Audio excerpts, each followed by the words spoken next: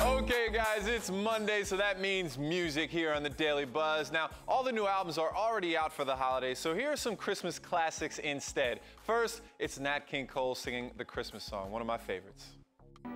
And every mother's child is gonna spy to see if reindeer really know how to fly.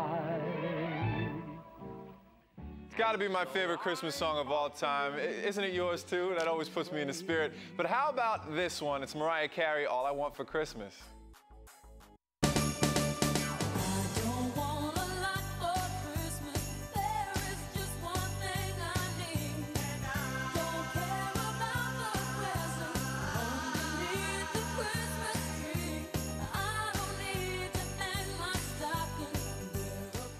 don't want a lot for Christmas. There is just one thing I need. Don't care about the present underneath the Christmas tree. I don't need to hang my stocking there upon the Yeah, couldn't couldn't leave that one off the list. But there's also this Christmas mashup that turned into a classic: Bing Crosby and David Bowie singing "The Little Drummer." Peace on earth, can it be? Years from now, perhaps we'll see. See the day.